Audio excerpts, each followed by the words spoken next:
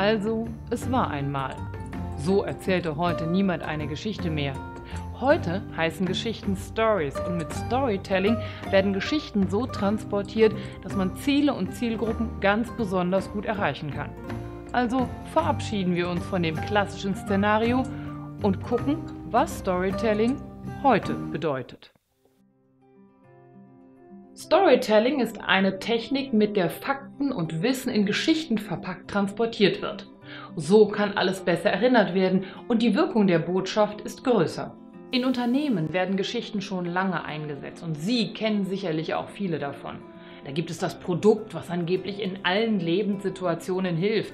Da gibt es das Unternehmen, was in einer Garage gegründet wurde und jetzt ein Riesenkonzern ist. Oder die Geschichten von Erfindungen, die angeblich die Welt verändert haben. Das sind alles Geschichten, die wir kennen und die wir uns, ob wir wollen oder nicht, sehr gut merken können. Sie wecken Erinnerungen. Erinnerungen und Verknüpfungen mit Sachen, die wir schon erlebt haben.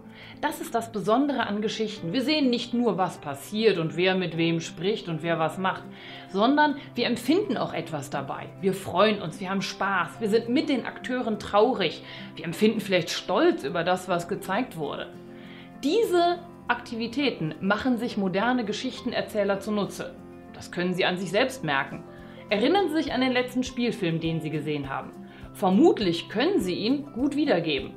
Das ist aber nicht unbedingt der Fall, wenn Sie sich mit abstrakten Themen beschäftigen. Vielleicht haben Sie mal einen Vortrag über Staatsverschuldung gehört. Das merken wir uns auch, aber auf eine ganz andere und oft viel weniger intensive Weise.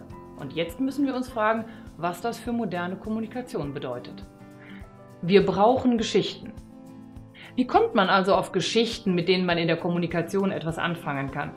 In jeder Organisation gibt es Menschen, die etwas erleben, die etwas erlebt haben, die Wünsche und Bedürfnisse haben. Es passiert wahnsinnig viel und es gibt eine ganze Menge zu erzählen.